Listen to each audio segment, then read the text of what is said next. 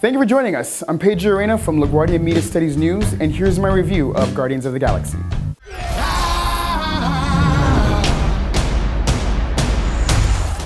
Once again, Marvel has done it.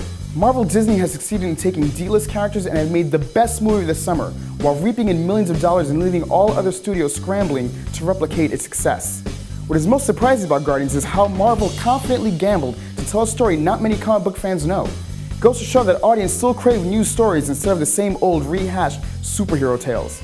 I'm looking at you, Spider-Man and Man of Steel. Cleverly directed by low-budget filmmaker James Gunn, he gets a superhero-sized budget and does not let it engulf him.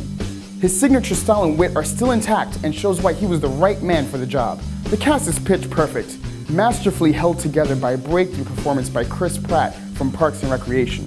There's one other name you might know me by. Star-Lord. Who? Star Lord, man. Legendary outlaw. Guys? Pratt holds everything together with humor, heart, and brawn. He's the new Han Solo. Zoe Saldana is feisty and dangerous.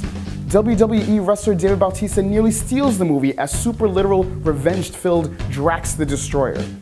Bradley Cooper and Vin Diesel provide the voice for Rocket, our genetically enhanced machine gun toting raccoon, and Groot, a walking, talking, regenerating tree that says only three words I'm Groot.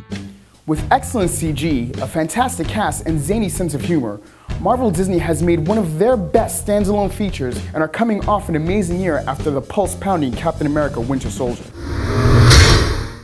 Fans will be eagerly awaiting the next installment of this generation's Star Wars. Speaking of Star Wars, it's hard not to notice the major influence the original Star Wars has on Guardians.